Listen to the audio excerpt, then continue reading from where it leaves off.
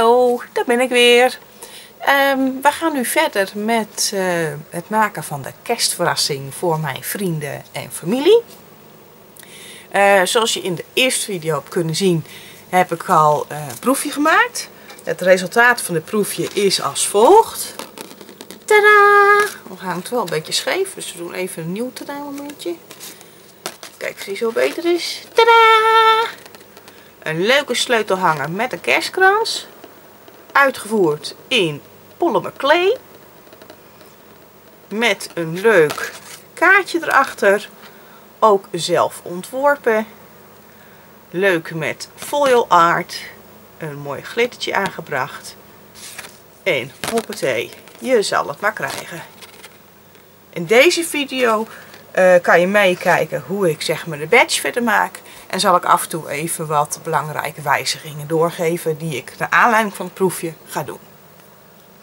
Laten we gauw beginnen. Nou, eerst ga ik eens even de restjes gebruiken. We beginnen met rood voor de strikjes.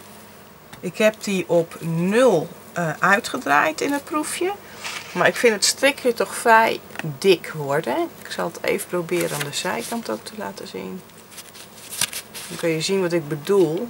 Kijk, ik vind hem vrij dik worden. Dus ik denk dat ik het strikje wel in 1 of 2, dat ik mijn kleinmachine even op 1 of 2 zet. Kijken of dat een wat beter resultaat geeft. Ik bak hem niet op 130 graden af, ik bak hem op 100 graden af en dan wel een half uur. Ik merk toch dat het dan mooier wordt. En met de kleur rood, dat zei ik al in mijn vorige video, doe ik echt even met uh, handschoentjes aan. Je krijgt echt rode vingers ervan. Van Fimo heb je eigenlijk verschillende lijnen. En per lijn kan de hardheid van de klei kan invloed hebben. Dus sommige daar moet je gewoon even wat langer op uh, drukken en op om warm te krijgen. Kan dus helpen af en toe eens even wat. Want ik vind hem nog aan de harde kant. Dus doe er nog een druppeltje bij. Met die vloeibare klei kan je beter twee keer een beetje toevoegen dan één keer heel veel. Want als het te uh, zacht wordt, dan kan je er ook niks mee. Dan wordt het één plakzooi.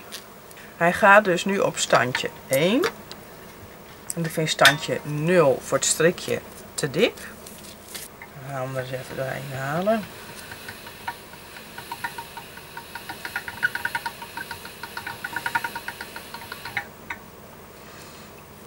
En dat mag echt wel even een paar keer.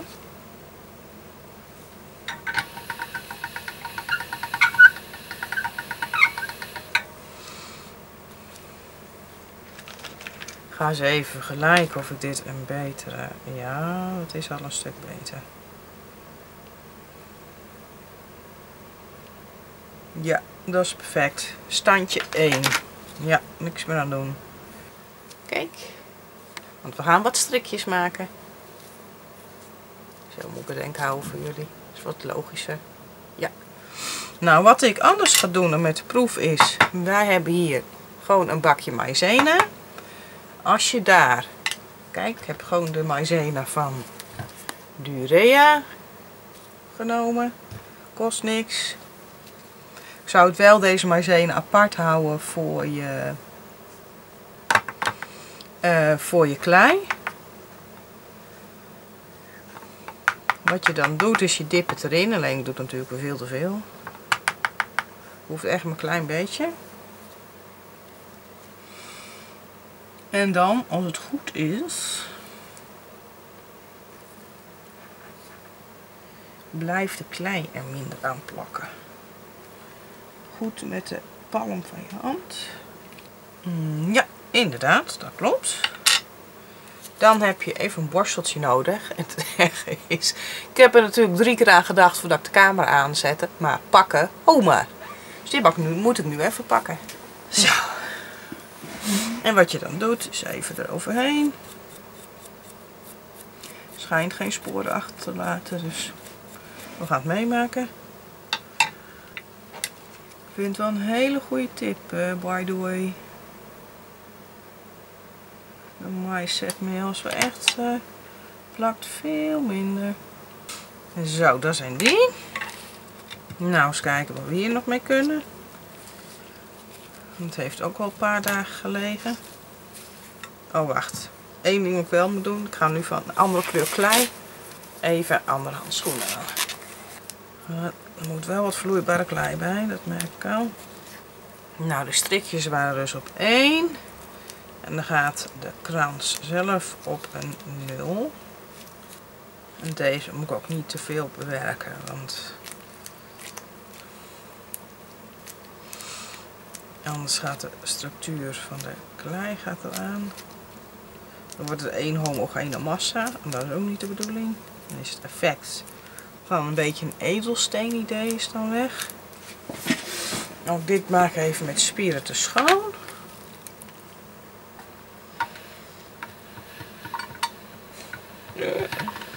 Nou, dat is nog niet veel. Het verbrokkelt helemaal. Nee, ik uh, stop hiermee. Ik ga een nieuw batch maken.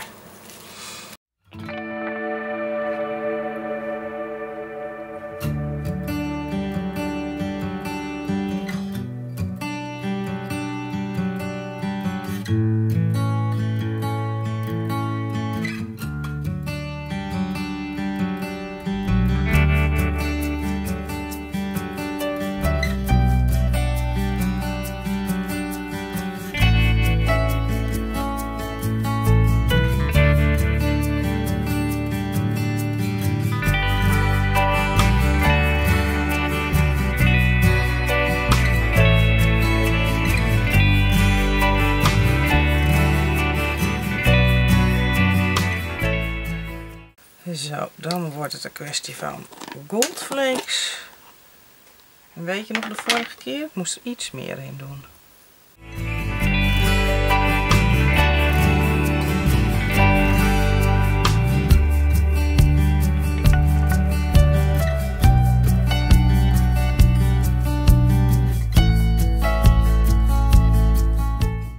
zal de volgende keer eens proberen om in twee etappes de goldflakes toe te voegen. Ik denk dat nu in één keer misschien een beetje veel is geweest.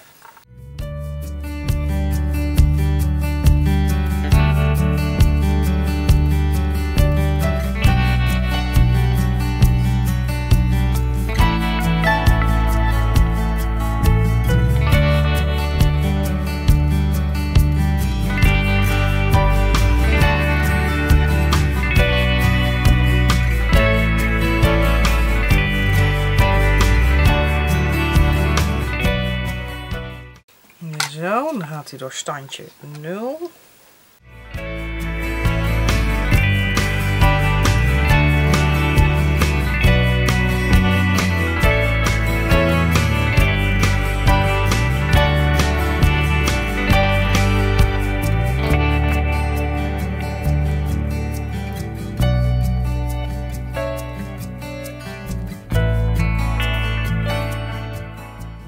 Nou, we zijn inmiddels zover dat we weer wat uh, kransjes kunnen maken.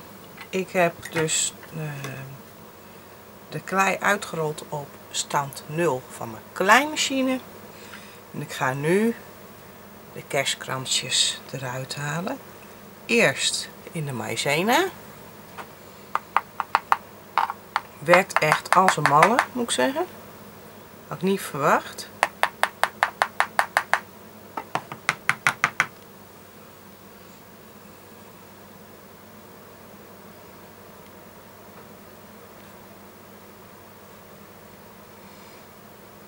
Dat gaat wel goed aan die kant. Even kijken, want dit is een wat grotere, uh, hoe noem je dat? Een wat grotere uh, kleisteker. dus wat ik dan doe is, ik, ik, eigenlijk moet ik van die acrylblokken hebben, waar je ook stempels op doet. Alleen ik heb er ergens één, alleen ik kan het niet zo 1, 2, 3 vinden. Dus ik pak even iets anders plat. Dat is mijn quiltliniaal. Want zoals jullie weten quilt ik ook. Alleen deze natuurlijk weer een beetje aan de grote kant. En je ziet het, ik heb ook niet de allergrootste ruimte. We gaan eens kijken wat het gaat geven. Oh, ik zie het al hobbelbobbel. Nee, dit wordt ook niks. Um... Oh, kijk eens. Ah, ik heb een mooie onderzetter. Leuk hè. Een keertje gekregen. Zo leuk. Dus kijken of wel beter gaat.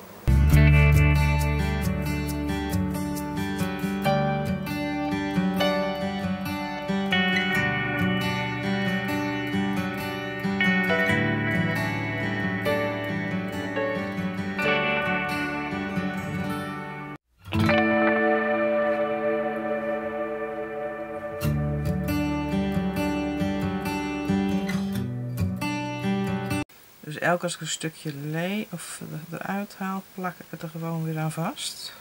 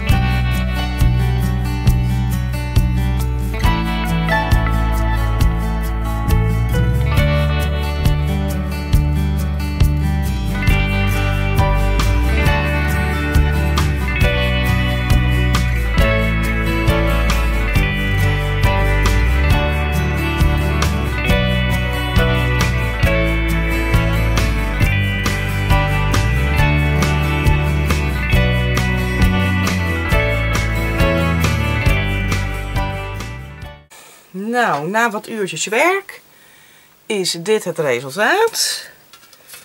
We hebben er 9 klaar om af te bakken. En die ga ik nu ook eerst afbakken. Want ik kan helaas niet langer meer hieraan werken. Dus het wordt afbakken geblazen. Nou, zoals ik jullie had beloofd, zouden we de laatste stukje ook nog even iets aan doen. Even kijken of dit te zien is op de camera. Zo moet ik het houden. Oké.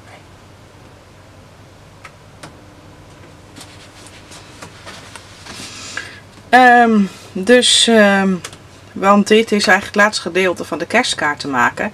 Deel 1 hebben jullie al een poosje gehad, maar ja, er is natuurlijk ook nog een deel 2. Um, ehm, dit is het, het labeltje maken. Wat ik heb gedaan is, ik heb een label ontworpen. met een beetje behulp van internet. Een beetje van mezelf en een beetje van internet. Ik heb dat uh, geprint met een laserprinter, dat is wel even belangrijk. Want ik ga dit nu verder verwerken met foil art, een folietechniek. Nou, dat heb ik dus op uh, wat dikker papier geprint. Want ja, het mag ook wel een beetje body hebben. En dan ga ik uh, dit uh, nu verder verwerken. Dus kijk gerust mee. Ik heb in een ver verleden deze doos gekocht bij de Action. Dit is voor foil art. Uh, er staat verder uh, op de achterkant dat je met lijm kan doen. Dat kan ook, maar dat wordt heel precies lijmen. Maar het kan ook dus met uh, of een speciaal lamineerapparaat. Maar ik heb hier toch een drukpers staan voor het bedrukken van t-shirts. Dus die gebruik ik ervoor. Ik ga even nakijken welke temperatuur het ook alweer was. We moeten hem instellen op 102 graden. Er staat nu nog op 125.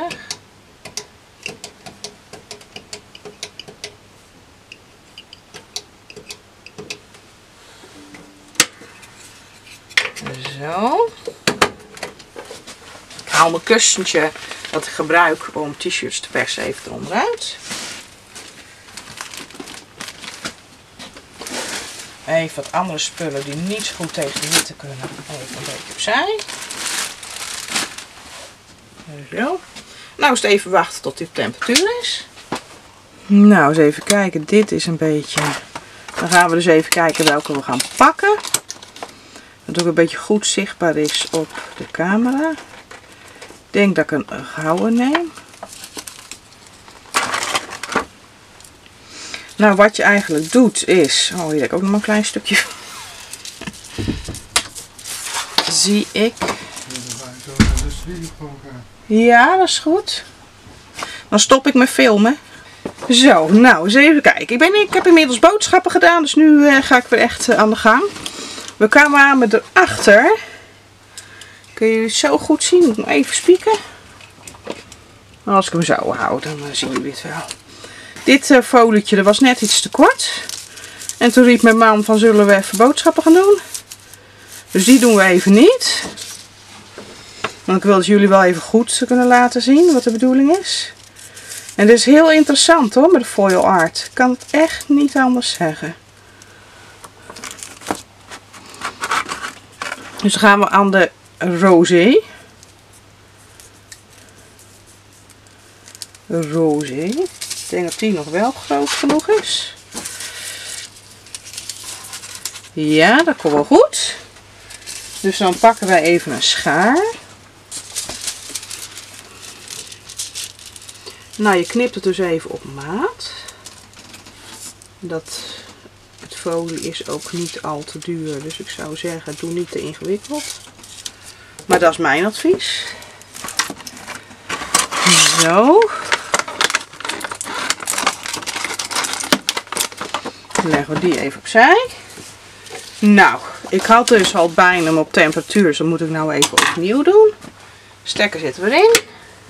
102 graden.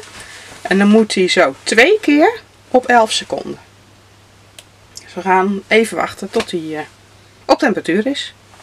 Nou, wat je dus doet, is je leg je papiertje eronder met je folie erop.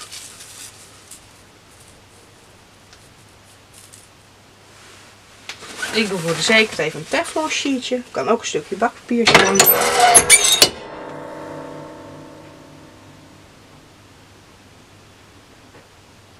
Dan doe je twee keer 11 seconden je hem onder de pers.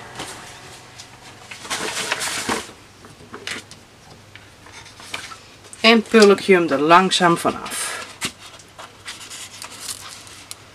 En dan zie je dat alles wat zwart was, heeft nu een folielaagje. Leuk hè? Deze techniek heet foil art. Wat ik dan heb gedaan is dat ik hem gewoon aan de rand heb uitgeknipt. Hier een gaatje geperforeerd. Leuk dat sleutelhangertje erop. En zo heb ik mijn kerstverrassing gemaakt. Nou, jullie hebben even moeten wachten op deel 2. Maar dit was hem dan. Uh, ik wilde jullie graag het laatste stukje ook zien. Want er zat ook nog een techniekje bij. Namelijk de foil art. Um, vond je dit nou een leuke video? Geef mij een duimpje. Wil je niks missen op dit kanaal? Abonneer je dan even. Heb je een tip of een top voor me? Ook die zijn altijd van harte welkom. En dan zie ik jou in een volgende video. Houdoe!